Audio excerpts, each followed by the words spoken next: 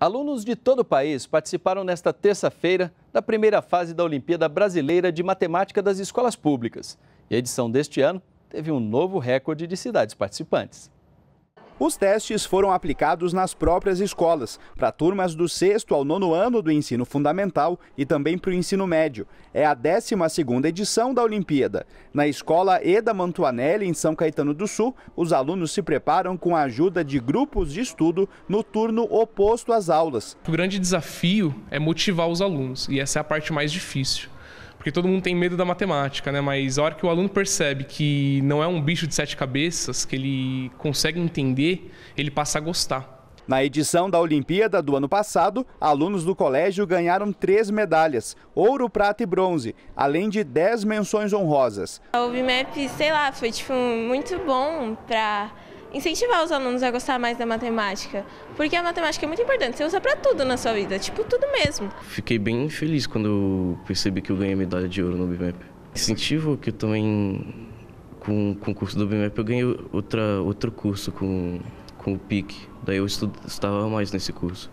Esse ano, o número de municípios participantes foi recorde. São mais de 47 mil escolas de 5.500 cidades de todo o país, fazendo a primeira fase de provas da Olimpíada. Quase 18 milhões de alunos se inscreveram na Olimpíada. São Paulo, Minas Gerais e Bahia são estados com o maior número de participantes. A prova da primeira fase tem 20 questões objetivas de múltipla escolha. As escolas corrigem as provas e selecionam 5% dos alunos com melhor pontuação. A lista com os classificados para a segunda fase sai no dia 10 de agosto.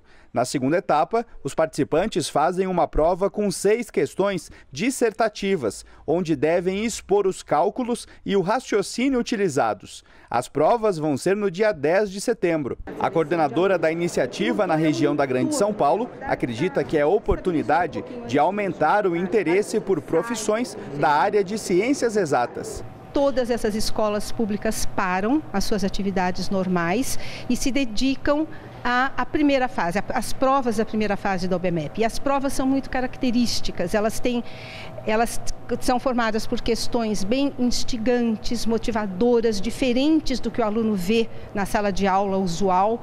Então, é um momento que eu sempre digo, o Brasil para para olhar a matemática de um jeito diferente, mais estimulante, mais motivante.